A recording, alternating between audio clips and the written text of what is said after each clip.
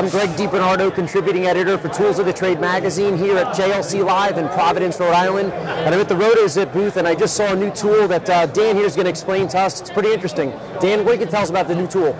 Sure, good afternoon. I'm Dan Blythe. I'm a product manager uh, for the RotoZip brand, part of the Bosch Power Tool Group. Today we're introducing the brand new RotoZip RotoSaw. It's a new entry-level spiral saw, uh, so it's going to be great for um, the drywall installer, for general contractors, and also for do-it-yourselfers. Uh, some notes about this tool. It's a 5.5 amp MagnaCore motor. Uh, that enables us to have a nice, compact, lightweight tool, so it's going to be very comfortable to use over extended periods of time. Uh, it runs at 30,000 RPM, so it uses all of the standard RotoZip bits and accessories. Uh, we have a new guide foot, so that's going to accept an available dust adapter, which I'll show in a little bit when we do some cutting, and also accepts the RotoZip circle cutter. Um, so we're very excited about this tool. It's going to be hitting retail stores starting in May. Uh, if you happen to be at JLC today, they're going to get a good deal. so, uh, Dan, what different types of material can, will this tool cut? This tool is going to cut most every common building material that you're going to come across. Of course, it's going to cut drywall, um, since that's what RotoZip is mainly known for, but it's also going to do a great job in plywood, laminate flooring, backer boards uh, behind your tile.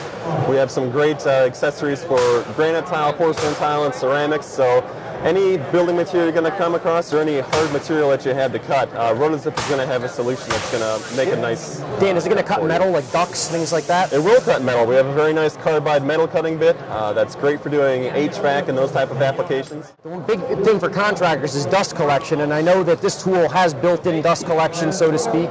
So uh, maybe we can take a whirl on some drywall and see how that's going to work. Sure, we'll just make a quick cut here. Uh, let me pop on my power strips.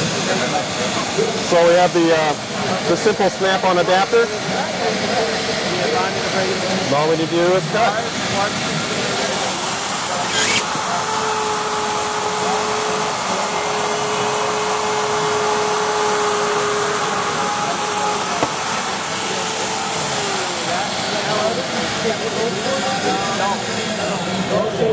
So you can see that adapter does a nice job of keeping all the dust intact.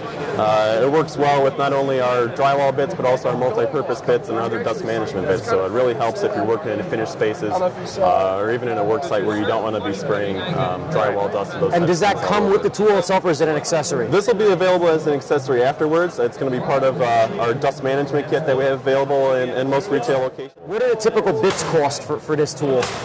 The typical bits will cost anywhere from $5 up to $20 depending on the t- size of the bit and then the material that it's going to cut. Great. And this tool is out now or it's going to be released?